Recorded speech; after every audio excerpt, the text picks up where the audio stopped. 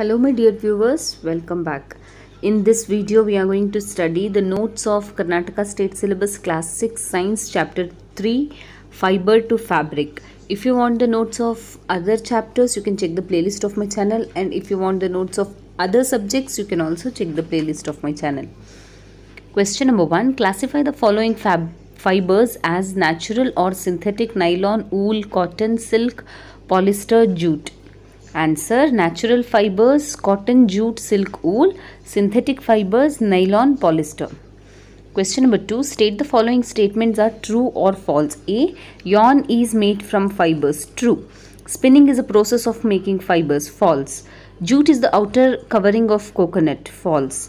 The process of removing seed from cotton is called ginning. True. Weaving of yarn make a piece of fabric. True. Silk fabric is obtained from the stem of a plant. False. Polyester is a natural fiber. False. Question number 3.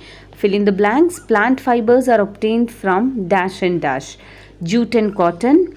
Animal fibers are dash and dash. Silk and wool. Question number 4. From which parts of the plant cotton and jute are obtained? Answer. Jute is obtained from stem and cotton is obtained from cotton balls which are directly from surface of cotton seeds.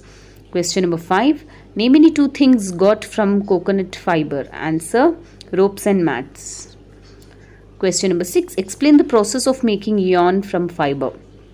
Answer. The thin strands are called as yarns which are made from fiber. Spinning is the process of making yarn. The process where the cotton fibers are drawn out and being twisted. This process brings all the fibers together to form a yarn.